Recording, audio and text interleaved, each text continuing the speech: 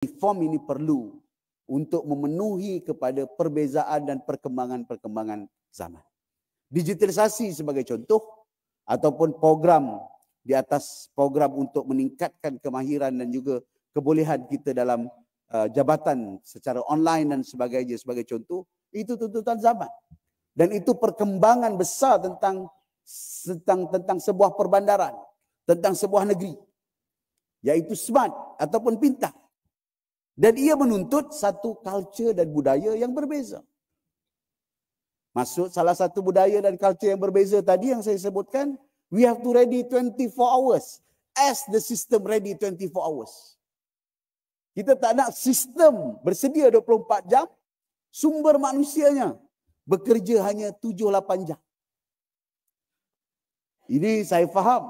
Anda semua kita gerak kita ada ruang waktu kerja daripada jam 8.30 sampai jam 4.30.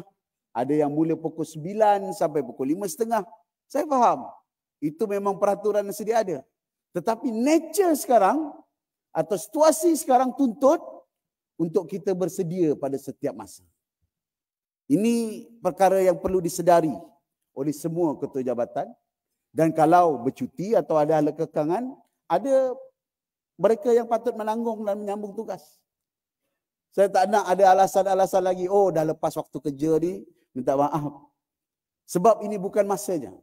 Masa delivery ini, kita kena bersedia untuk memastikan semua dipenuhi dan semua dipatuhi. Sebab ada yang bekerja pada waktu malam. Memang ada yang berehat.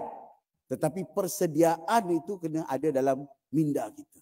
Kalau dipanggil, kalau diminta, datang, diminta untuk sampaikan taklimat, diminta untuk selaraskan, kena sedia.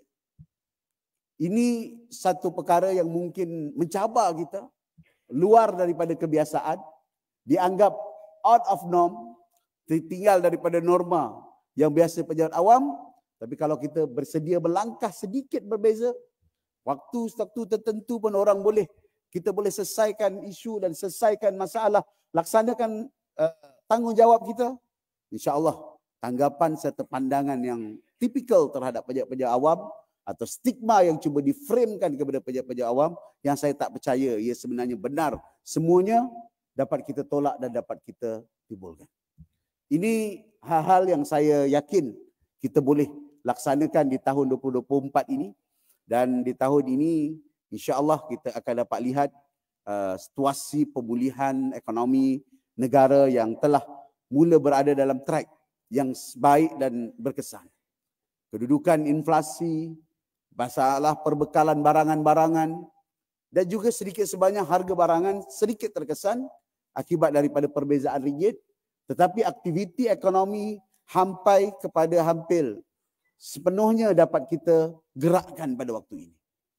Sebab itu walaupun Perdana Menteri ingatkan dan selalu sebutkan tentang orang miskin, tentang petani, tentang bantuan di rumah kos, kos rendah dan sebagainya.